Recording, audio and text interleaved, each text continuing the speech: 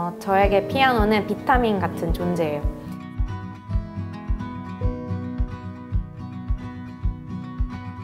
안녕하세요. 저는 위드 피아노 사당점에서 피아노를 배우고 있는 김수아입니다. 일이랑 이런 거 너무 막 치열하게 살아서 약간 좀 우울감도 있고 되게 힘들었었어요. 그래서 작년 연말부터 이제 일도 좀 쉬고 할 때 뭘 하면서 시간을 보내면 좋을까 고민하다가 피아노가 생각나서 삶에 엄청 활력이 좀 생긴 느낌이에요.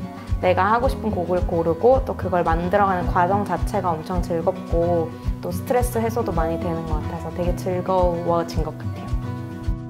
그 음악이 심리적으로 많은 안정감을 주는다고 하잖아요. 그리고 또 혼자 하는 거인 것 같지만 사실은 제 선생님도 있고 같은 수강생분들이 있으니까 외롭지 않게 취미생활을 할 수 있는 그런 종목인 것 같아요.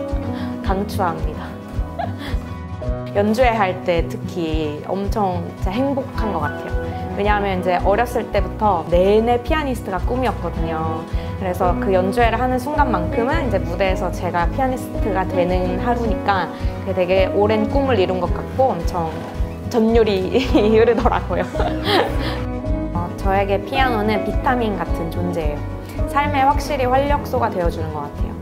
어, 무언가에 몰두해서 몰입해서 시간을 보낼 수 있는 게 성인이 되고 나선 찾기가 참 힘든 것 같은데 그 피아노를 치는 시간 동안 온전히 저한테만 집중할 수 있으니까 그 시간이 되게 즐거운 것 같고 그리고 확실히 엄청 큰 스트레스 해소 효과가 있어요. 막 두들기면서 치면 스트레스가 막 다 풀리고 그래서 삶에 많은 활력을 가져다 주는 존재인 것 같습니다.